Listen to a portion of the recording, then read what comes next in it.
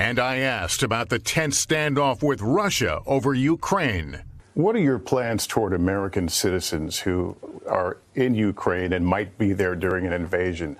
Uh, what scenarios would you put American troops to rescue and get Americans out? There's not. That's a world war. When Americans and Russians start shooting at one another, we're in a very different world than we've ever been in. Not even on behalf of simply evacuating Americans. No. How, how, how do you do that? How do you even find them?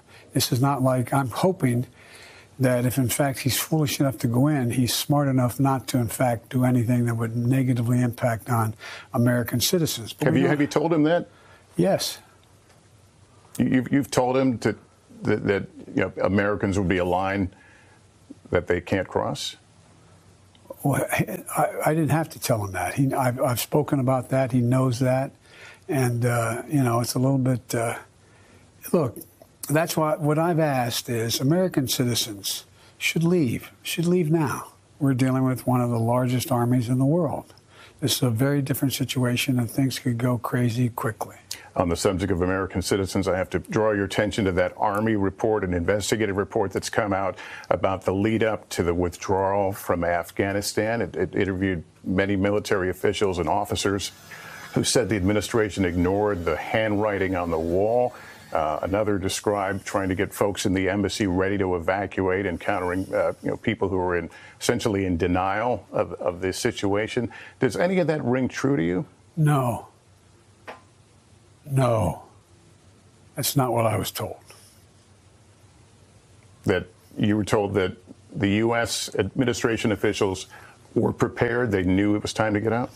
No. What I was told, no one told me that, look, there was no good time to get out. But if we had not gotten out, they acknowledged that we would have had to put a hell of a lot more troops back in. It wasn't just 2,000, 4,000. We would have to significantly increase the number of troops, and we were back in this, this war of attrition.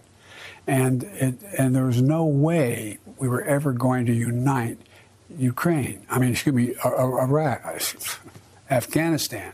No way that was going to happen. And so this is a much wiser thing to do. I just want to clarify are you rejecting the conclusions or the, the accounts that are in this Army report? Yes, I am. So they're not, not true? I'm rejecting them. Then there was today's sour headline on the economy. Inflation skyrocketing to 7.5%, a 40 year high.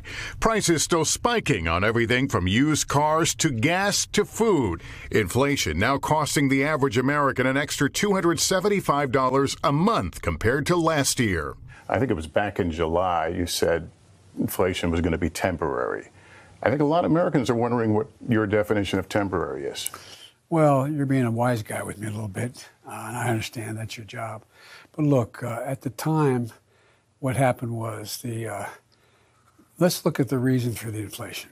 The reason for the inflation is the supply chains were cut off, meaning that the products, for example, automobiles, the lack of computer chips to be able to build those automobiles so they could function, they need those computer chips. When can Americans expect some relief from this soaring inflation? According to Nobel laureates, 14 of them that contacted me and a number of corporate leaders, it's ought to be able to start to taper off as we go through this year. In the meantime, I'm going to do everything in my power to deal with the big points that are, are impacting most people in their homes.